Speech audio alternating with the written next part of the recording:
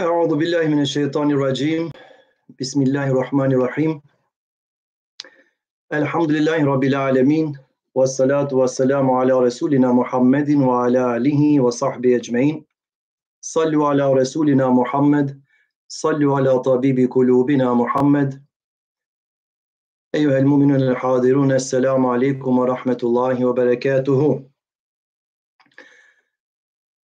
Falenderimet dhe lavdrimet janë vetëm se për Allahun xheleshanuhu, Zot i gjithësisë, vetëm se atij i lutemi dhe vetëm se nga ai ndihmë kërkojmë.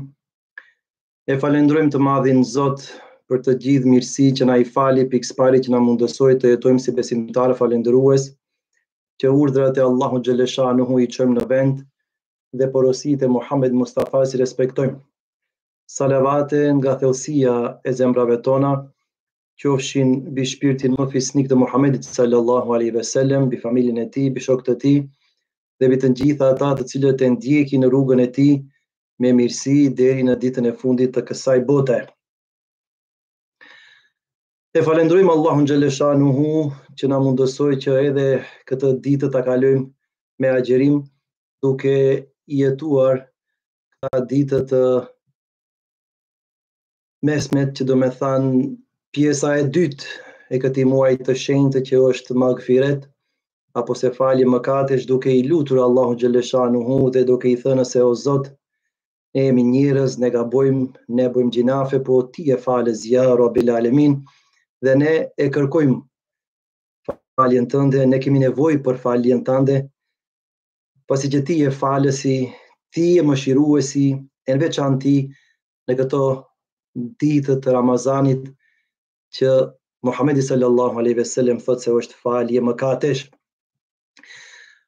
Allahu xheleshanuhu vëllezër të dashur nëpërmjet këtij muaji synon që njerëzve t'ua rritë devotshmërinë.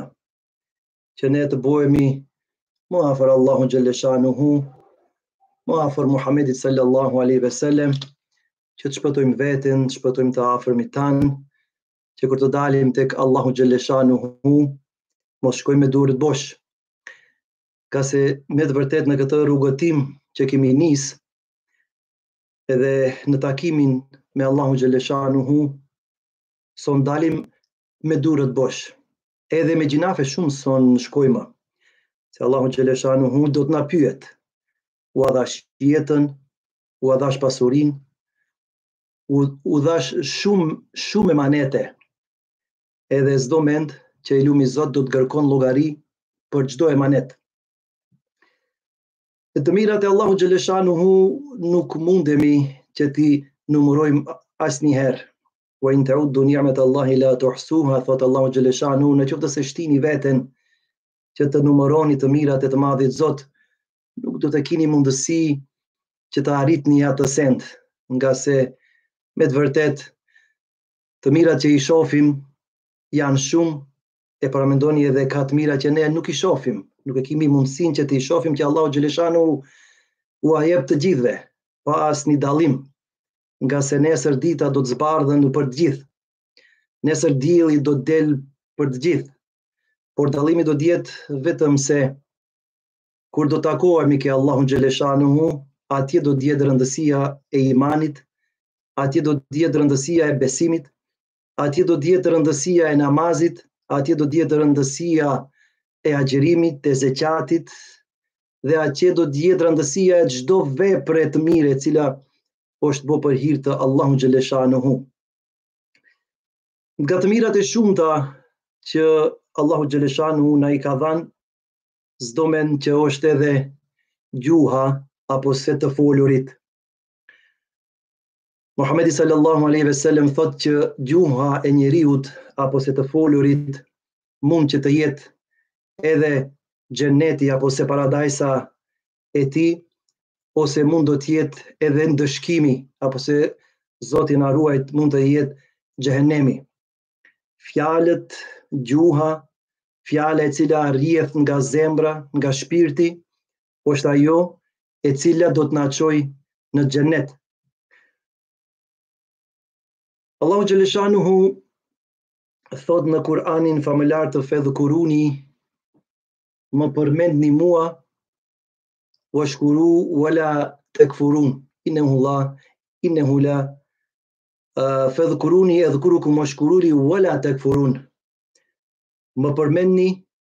mua, thotë Allahu xhelle shanuhu, ngase me të vërtetë në të përmendurit e të madhit Zot është e gjitha e gjitha mirësi. Më përmendni, më falënderoni dhe mos boni mosbesim tek Allahu xhelle shanuhu. Gjithashtu,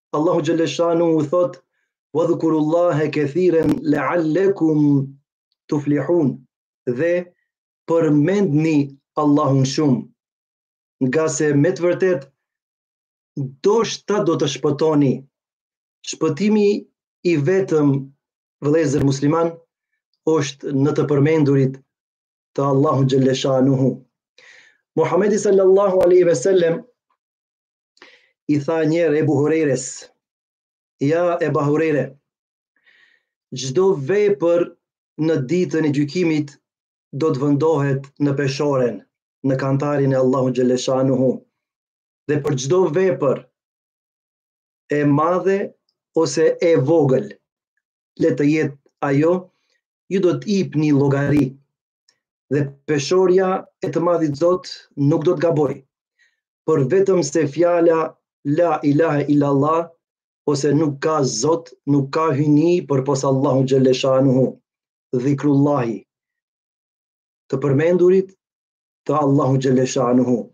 Ajo fjali tha, nuk do të vendohet në peshore, ngase shpërblimi do të jetë shumë i madh.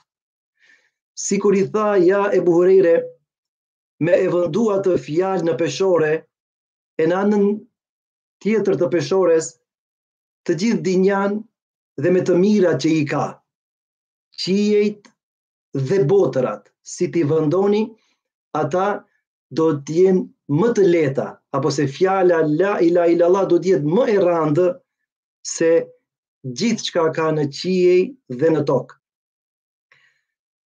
Vëllezër, shpëtimi i të gjithëve ne është në fjalën La ilaha illa Allah, nuk ka hyni, nuk ka zot, përpos Allahu xhelleshanuhu. I thanë sahabet, ja Resul Allah, na mësoni vepër që ne ta themi vetëm atë fjalë dhe të fitojmë xhennetin. Muhammedi sallallahu aleyhi ve sellem u tha, kul la ilaha illa Allah, thumme stekim, thuani, thuani fjalën la ilaha illa Allah, nuk ka hyni, nuk ka perëndi përpos Allahu xhelleshanuhu, por pastaj përmbahuni asaj fjale. Që do të thotë përmendni Zotin me shpirt e me zemër.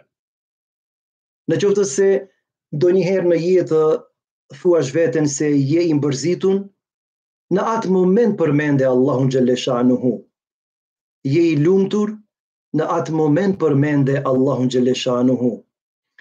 Je në mendime të thella, edhe për shkak se nuk ka nevojë që të hish shumë thellë në mendime se të është edhe sondalish, por thuaj edhe në atë moment fjalën la ilaha illa Allah.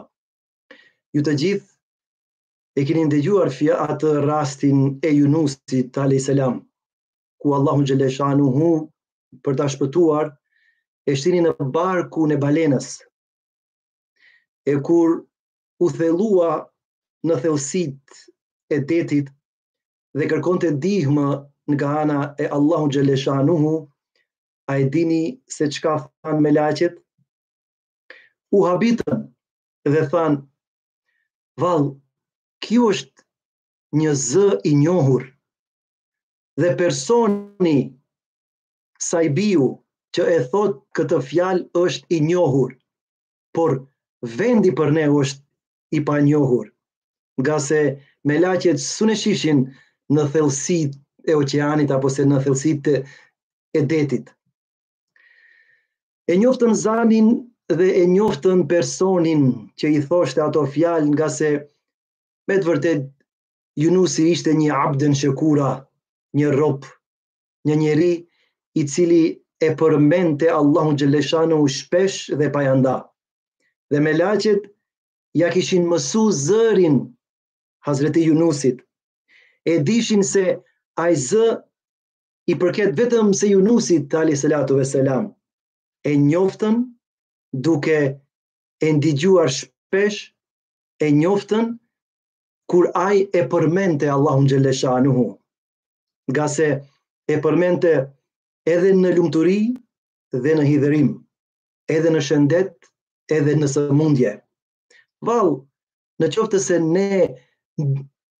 ndonjëherë e përmendim Allahun Xhelleshanuhu. A thuani vëllezër dhe motra se melaqet do të na njofin? Se është filan filani? A do të gëzohen se edhe në vendet ku ne nuk e dim që ku gjinde ki person, ki njeri, është ai i cili në atë moment ne e njofim dhe e përmendën Allahun Xhelleshanuhu. Ndoshta ne s'un bëhemi si Hazreti Junusi, por të paktën të bëjmë çka është në fuqitë tanë që na ka i dhanë Allahu Xhelleshanuhu, që ta përmendim në çdo moment. është një rast një njeri ku e përmendte fjalën e Allahu Xhelleshanuhu shumë shpesh dhe i luteshte të madhit Zot. Shejtanit i erdh shumë zort ki njeri tha vetëm se Allahun Xhelleshanuhu e përmend dhe kur e godet ndonjë e keqe përsëri thotë la ilahe ilallah thotë ja Allah ja Allah thotë ti je më i madhi ti je i plotfuqishmi o Rabbil Alamin dhe shejtani shkojti dhe i tha i mallkomi tha o ti njeri ti e përmendish Allahun Xhelleshanuhu mos vallë më të është përgjigj ai ndonjerë Vallë tha, shihe këtu, ne nuk dum të të përzihemi, tha në punt që i bojsh, po vetëm se të të thomi, tha që mos u lodh shumë, se me vite të tëra, me sene ka që e përmendish Allahun Xhelleshanuhu, nuk të është përgjigj asnjëherë. Njeriut i shtin shybe në mendjen e tij, dhe thanë, Mor than ki shejtani o shejtan po ndonjer tha fjalën e gjen edhe njeriu u mbërzit fillojti që ta përmendën më pak tha edhe ashtu tha i lumi Zot tha nuk më përgjigjet se do ta përmendi më pak në atë moment Allahu Xhelleshanuhu nuk deshte që ai njeri i ndershëm, i sjellshëm, një besimtar i mirë, që ta digjoj shejtanin, se shejtani gërkon dobësinë e njeriut. Ai do të mundohet në çdo aspekt. Ai do të mundohet që ta që të ta mbërzitë punën, jetën, shkollën, vepra të mira, sevapet, njerëzit, të afërmit, babën, nanën, bashkëshorten, bashkëshortin, fmijt. Ai do të mundohet të hijë në zemrën tënde duke e kërkuar dobësinë më të madhe. Dhe pi ati kur të të sulmon, atëherë do ta ketë shumë kollaj. Ke ki njeri e sulmojti shumë shpejt dhe fitojti, por mëshira dhe falja e të madhit Zot ishte shumë më e madhe sesa dëmi që mendonte që shejtani t'ia bon atij. Dhe e dërgojti melaqen dhe melaqja i tha, o njeri, çka të ndodhi tha ti e përmendne tha shumë tha Allahun Xheleshanuhu, se u mbërzite tha çka të shpejt. Vallahi tha, e përmenda tha për gjatë kohë, por asnjëherë tha i lumi Zot tha, nuk m'u përgjigj. Unë tha, kom tha, tha, për ditë, tha, me mija herë, tha, la ilahe il-lallah, Allahu ekber, la haula, ue la kuvete il-la billahil alijil adhim, subhanallah, elhamdulilah, të gjitha fjalët, të gjitha dhikrët që ekzistojnë, unë e, e përmenja, Allahu Xheleshanuhu nuk m'u përgjigj, edhe me siguri tha jam lodh, tha pak, vallë tha, pyete veten, Sa njerëz tha ka në dinja, sa njerëz tha ka tha në rru, në rruzullin e tokës, që e përmendin tha Allahun Xheleshanuhu shpesh dhe pa ja nda, sikur tha ti që e ke përmend. Vallaj tha nuk e di, por tha me siguri tha nuk janë shumë. Po çka mendon tha ti? Se Allahu Xheleshanuhu tha do të ja mundëson dhe do t'ja lejon secilit që ta përmendën emnin e tij, ti tha vallë, tha, o rob i Zotit, a mendojsh se Allahu Xheleshanuhu do t'ua mundëson të gjithëve që ta përmendin emnin e Allahu Gjeleshanuhu? A nuk të mjafton si dhunti? A nuk të mjafton si mirësi? A nuk të mjafton si shpërblim më të madh që Allahu Xheleshanuhu ta ka mundësu në çdo moment, shpesh dhe pa ja nda, që të përmendish tha emnin e tij, vallahi tha, mos u dorëzo, se dhuntia më e madhe, është përmendja e Allahu Xheleshanuhu. Ue le dhikrullahi akber,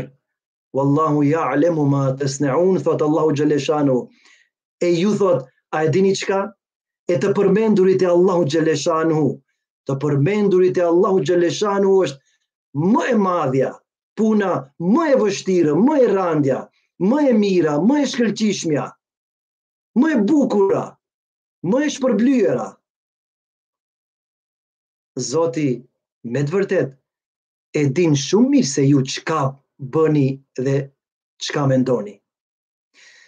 Vëllezër besimtarë, në veçanti në këto ditë ku mëshira falja e Allahu Xheleshanuhu shumëfishohet, kur njerëzit e lusin Allahu Xheleshanuhu që të na hjekën këtë bela dhe të rikëthehemi nëpër punët që të fitojmë më shumë, që të kemi një jetë pak më të rahatshme, më luksoze. Kur disa mundohen që të fitojnë vlerat e kësaj dinjaje, kur disa mundohen që të fitojnë pozitat e kësaj dinjaje, kur disa mendohen që t'i mbajnë pozitat që i kanë, ju